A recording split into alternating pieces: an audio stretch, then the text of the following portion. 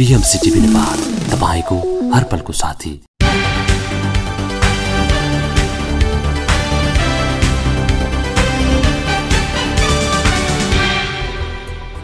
यस समाचारका साथमा नेपालकै पहिलो भाषण कला तालिम केन्द्र प्रेस्टिज मिडिया सेन्टर चावहिल चोक काठमाडौँ। सम्पर्क नम्बर पैतालिस छयानब्बे शून्य शून्य छ। मोबाइल नम्बर अन्ठानब्बे पाँच एघार छयानब्बे शून्य शून्य छ। नमस्कार नेपाल न्युज अपडेटमा स्वागत छ। म अनिता खनाल। सुरु गरौं अहिलेसम्मका मुख्य मुख्य समाचार शीर्षकहरूबाट। एमाले र माओवादीले एकै समयमा बोलाए बैठक। गृहमन्त्रीमा रामबहादुर थापा पुनः नियुक्त। भारतबाट फर्किए पूर्व राजा स्वागतमा विमानस्थलमा राजावादीको भिडभाड। एकै दिन एक हजार बढीमा कोरोना भाइरस संक्रमण पुष्टि सबैभन्दा धेरै काठमाडौँमा। कैलालीमा दस दिन विद्यालय बन्द गर्ने निर्णय। भारतमा कोरोना संक्रमणबाट एकै दिन पन्ध्र सय भन्दा बढीको मृत्यु र त्रिदेशीय कपमा नेदरल्यान्ड्सले मलेसियालाई हरायो। अब समाचार विस्तारमा। नेकपा एमाले र माओवादी केन्द्रले एकै दिन बैठक बोलाएका छन्। नेकपा एमाले सोमबार केन्द्रीय समिति बैठक बोलाएको छ भने माओवादी केन्द्रले स्थायी समिति बैठक बोलाएको हो। एमालेको बैठक प्रधानमन्त्रीको सरकारी निवास बालुवाटारमा बोलाइएको छ। बैठक दिउँसो एक बजेका लागि बोलाइएको केन्द्रीय सदस्य शेरबहादुर तामाङले जानकारी दिएका छन्। उनका अनुसार बैठकमा समसामयिक विषयमा छलफल हुनेछ। साथै राजनीतिक प्रतिवेदन महाधिवेशन र कार्यविभाजनका बारेमा छलफल र निर्णय हुने नेता तामाङको भनाइरहेको छ। यसै गरी सोमबार दिउँसो एक बजे नै नेकपा माओवादी केन्द्रको स्थायी समितिको बैठक बोलाइएको छ। माओवादी केन्द्रीय कार्यालयका सचिव श्रीराम ढकालका अनुसार स्थायी समिति बैठक पार्टी कार्यालय पेरिस डाँडामा बस्नेछ। माओवादीले सम्भवतः सोमबारको बैठकबाट सरकारलाई दिएको समर्थन फिर्ता लिने नेताहरूले बताएका छन्। राष्ट्रपति विद्यादेवी भण्डारीले प्रधानमन्त्री केपी शर्मा ओलीको सिफारिसमा नेकपा एमालेका नेता रामबहादुर थापालाई गृहमन्त्रीमा नियुक्त गरेकी छिन्। नेपालको संविधानको धारा अठहत्तरको उपधारा एक बमोजिम थापालाई राष्ट्रपति भण्डारीले मन्त्रीमा नियुक्त गरेको राष्ट्रपतिको कार्यालयका प्रवक्ता रूपनारायण भट्टराईद्वारा आइतबार जारी विज्ञप्तिमा जनाइएको छ। नेपाल कम्युनिष्ट पार्टी माओवादी केन्द्रका तर्फबाट विक्रम सम्बत दुई हजार चौरात्तरको राष्ट्रिय सभा सदस्य निर्वाचनमा बागमती प्रदेशबाट निर्वाचित भएका थापाले दल त्याग गरेको सूचना माओवादी केन्द्रका राष्ट्रिय सभा संसदीय दलका नेता दीनानाथ शर्माले राष्ट्रिय सभा सचिवालयमा गराएका थिए। थापाले दल त्याग गरेको भनी राष्ट्रिय सभाले आइतबार सूचना जारी गरेपछि उनी पदमुक्त भएका थिए। सांसदबाट पदमुक्त भएपछि थापा मन्त्री पदबाट पनि स्वत मुक्त भएका थिए।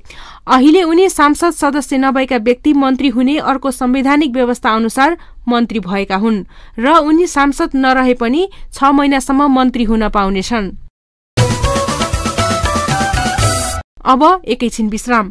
विश्रामपछि पुनः बाँकी समाचारका साथमा उपस्थित हुनेछौ।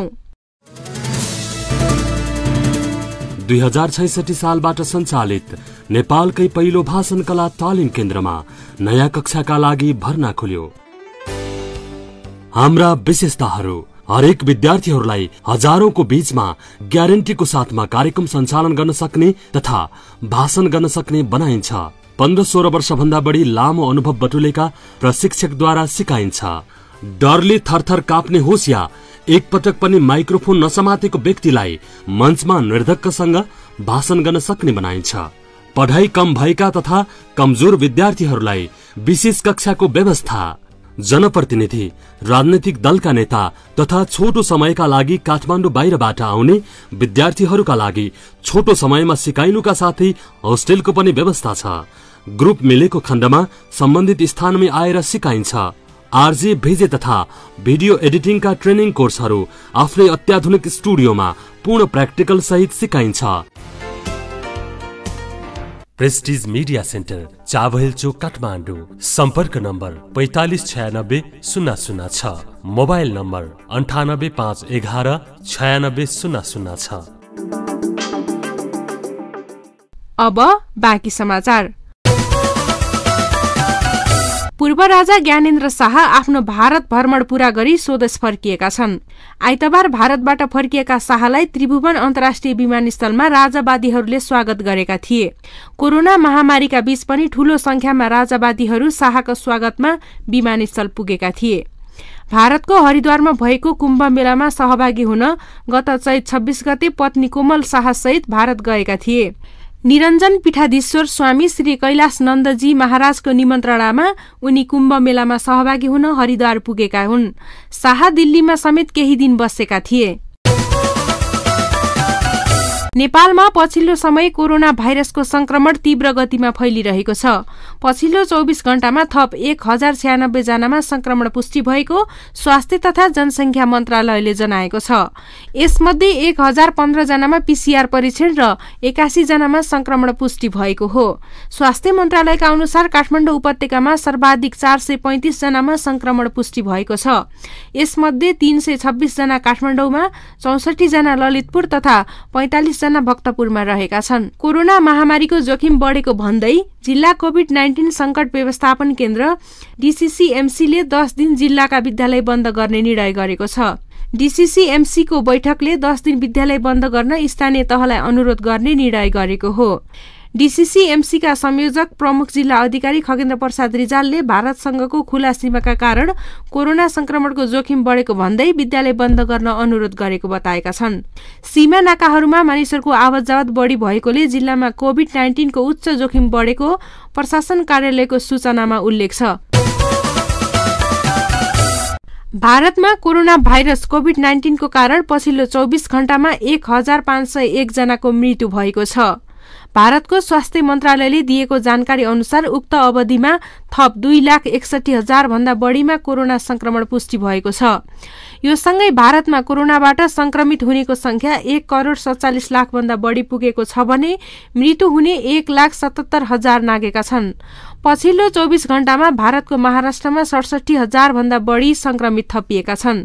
यस्तै उत्तर प्रदेशमा सत्ताइस हजार कर्नाटकमा सत्र हजार तथा छत्तीसगढ़मा सोह्र हजार भन्दा बढीमा संक्रमण देखिएको छ। भारतमा कोरोनाका सक्रिय संक्रमितको संख्या पनि अठार लाख नागेको छ। विश्वभर कोरोना संक्रमणबाट तीस लाख भन्दा बढीको मृत्यु भइसकेको छ। जोन हप्किन्सन विश्वविद्यालयको तथ्याङ्क अनुसार कोरोनाबाट संक्रमित हुनेको कुल संख्या चौध करोड़ भन्दा बढी पुगेको छ। त्रिदेशीय कप टी ट्वेन्टी सिरिजमा नेदरल्याण्ड्सले मलेसियामाथि जित हात पारेको छ। आइतबार किर्तिपुर स्थित त्रिवी मैदानमा भएको खेलमा नेदरल्याण्ड्सले मलेसियालाई पन्ध्र रनले हराएको हो।